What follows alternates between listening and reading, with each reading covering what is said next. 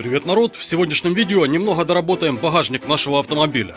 Установим светодиодное освещение. Также расскажу, как буквально за копейки получить полезную опцию – автоматическое открывание багажника. Доработку начнем из освещения багажника. Снимаем стандартный осветительный плафон, поддев его отверткой. Подключаем клеммы, больше он нам не понадобится. К этим разъемам подключим светодиодную ленту.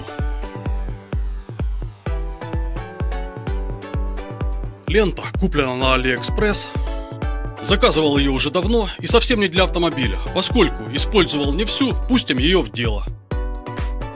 Отрезаю нужный кусок, это 90 сантиметров, и припаиваю к ленте отрезок провода длиной 60 сантиметров.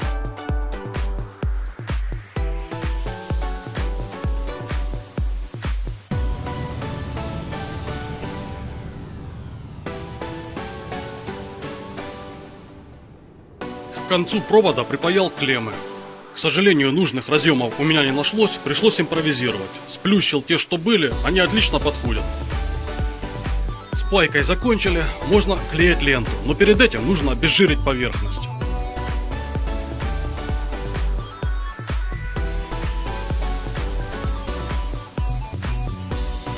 Перед установкой на всякий случай подключаю и проверяю ленту. Все работает, можем прокладывать провода.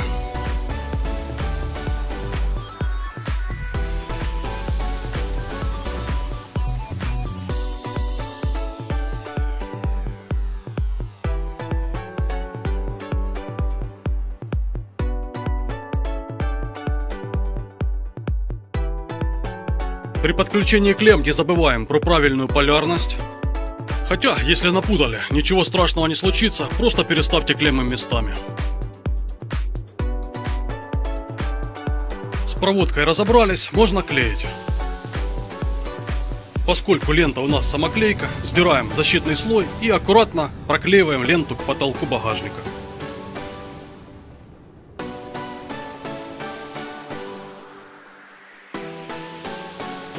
Провод, выходящий из ленты, на всякий случай зафиксировал скотчем. Хотя он и не провисал, но думаю, так будет надежней. Освещение установлено, результатом я доволен. Такая доработка, конечно, не обязательная. Это скорее работа из серии, чем заняться на карантине. Но все же, лента освещает багажник по всей длине, выглядит замечательно, особенно в вечернее время.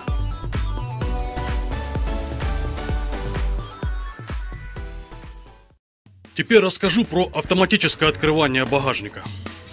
Об этом уже было видео на канале, но оно было без озвучки и в комментариях были вопросы. Самый частый вопрос, какую пружину использовал. Пружина покупалась на рынке на хозрядах и совсем не для автомобиля. Бралась она для ворот, как доводчик для калитки. Ну а после мы придумали использовать эту пружину для открывания багажника. Второй вопрос, зачем на нее надета трубка, Здесь вообще все очень просто, чтобы пружина не терла петлю багажника. Что еще сказать по этой доработке? Это действительно очень удобно. Вроде бы такая мелочь, установить пружину, но это действительно удобная и полезная доработка. Особенно понимаешь это, когда пользуешься этим каждый день. Кстати говоря, у некоторых автомобилей подобная опция стоит немалых денег. Ну а эта пружина стоила просто копейки.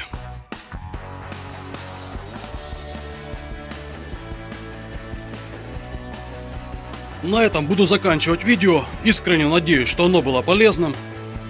Ставьте лайки и пишите комментарии. На комментарии всегда стараюсь отвечать, всегда рад с вами пообщаться. Подписывайтесь на канал. Всем пока!